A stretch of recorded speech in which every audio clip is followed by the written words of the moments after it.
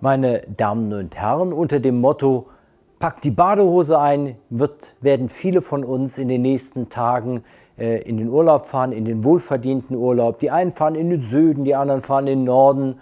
Äh, aber bei vielen dieser Angebote gibt es ja sogenannte All-You-Can-Eat-Angebote. Also man kann beim Frühstück zum Mittagessen und am Nachmittag natürlich auch noch einen kleinen Kaffee nehmen und abend ein großes Abendessen.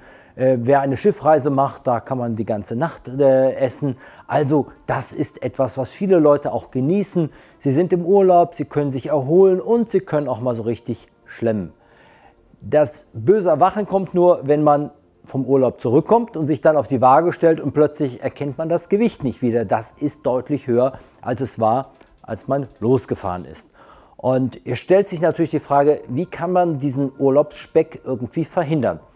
Und dazu gibt es jetzt gerade eine ganz aktuelle Studie aus den USA. Dort hat man Personen, 111 Personen, äh, aufgeteilt in zwei Gruppen.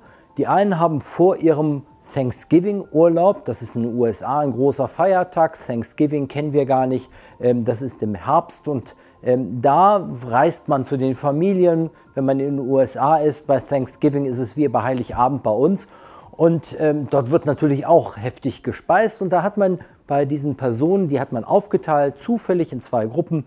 Die eine Gruppe, denen hat man gesagt, fahrt in den Urlaub äh, und kommt wieder und man hat sie vorher und nachher gewogen. Und die andere Gruppe, denen hat man eine Waage mitgegeben. Und das war eine spezielle Waage, die hatte so ein Bluetooth, äh, hatte Anzeigen. Und dann bekamen die Personen angezeigt, wo ihr aktuelles Gewicht ist. Und die bekamen die Aufgabe, sich einmal pro Tag morgens, kurz nach dem Aufstehen, mit immer der gleichen Kleidung auf diese Waage zu stellen. Und äh, ja, am Ende des Urlaubs wurden alle dann gewogen. Und das Ergebnis war interessant. Diejenigen, die die Waage mitbekommen hatten, hatten überhaupt gar keine Veränderung des Gewichts. Das war plus minus null. Und bei der anderen Gruppe war eine Gewichtszunahme von über zweieinhalb Kilo äh, der Fall. Also so ähnlich wie es wahrscheinlich auch bei vielen im Urlaub ist. Ja, was können wir daraus lernen? Wenn Sie wirklich den Urlaubsspeck vermeiden sollten, dann sollten Sie nicht nur das Motto haben, pack die Badehose ein, sondern pack die Körperwaage ein.